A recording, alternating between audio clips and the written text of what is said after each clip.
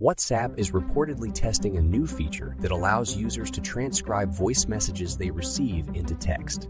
According to WA Beta Info, a website that tracks new WhatsApp features, the feature is currently under development for iOS devices.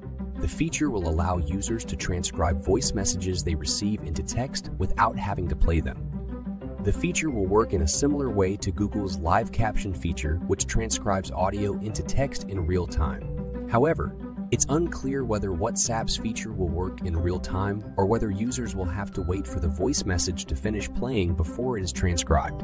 If the feature is launched, it could be particularly useful for users who receive voice messages in noisy environments or who have difficulty hearing.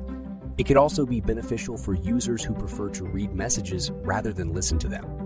The feature is currently in the development phase, so it's unclear when it will be rolled out to all WhatsApp users. However, the feature is expected to be released for iOS devices first, followed by Android devices at a later date.